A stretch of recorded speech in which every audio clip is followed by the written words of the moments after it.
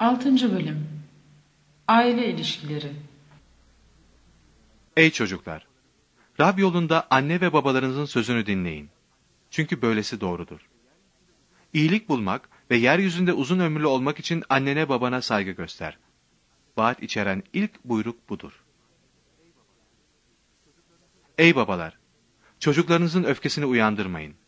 Onları Rabbin terbiye ve öğüdüyle büyütün. Köle Efendi İlişkileri Ey köleler!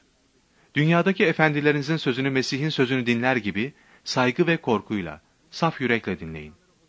Bunu sırf insanları hoşnut etmek isteyenler gibi göze hoş görünmek için yapmayın.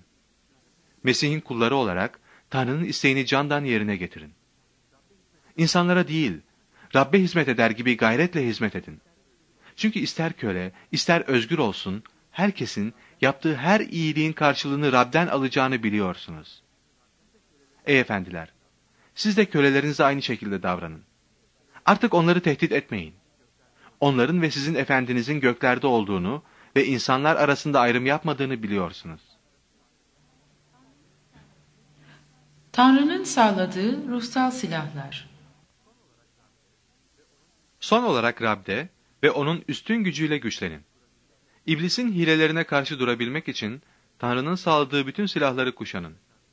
Çünkü savaşımız insanlara karşı değil, yönetimlere, hükümranlıklara, bu karanlık dünyanın güçlerine, kötülüğün göksel yerlerdeki ruhsal ordularına karşıdır.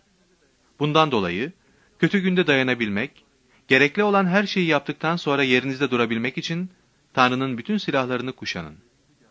Böylece, belinizi gerçekle kuşatmış, göğsünüze doğruluk zırhını takmış ve ayaklarınıza esenlik müjdesini yayma hazırlığını giymiş olarak yerinizde durun. Bunların hepsine ek olarak, şeytanın bütün ateşli oklarını söndürebileceğiniz iman kalkanını elinize alın. Kurtuluş miğferini ve Tanrı sözü olan ruhun kılıcını alın. Her türlü dua ve yalvarışla, her zaman ruhun yönetiminde dua edin. Bu amaçla, tüm kutsallar için yalvarışta bulunarak tam bir adanmışlıkla uyanık durun. Benim için de dua edin ki ağzımı her açışımda bana gerekli söz verilsin, böylece müjdenin sırrını cesaretle bildirebileyim. Uğruna zincire vurulmuş durumda elçilik ettiğim müjdeyi gerektiği gibi cesaretle duyurabilmem için dua edin. Son selamlar Nasıl olduğumu, ne yaptığımı sizin de bilmeniz için sevgili kardeşimiz ve Rabbin güvenilir hizmetkarı Tihikus size her şeyi bildirecektir.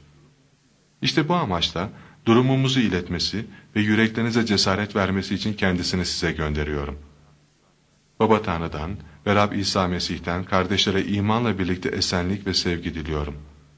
Tanrı'nın lütfu, Rabbimiz İsa Mesih'i ölümsüz sevgiyle sevenlerin hepsiyle birlikte olsun.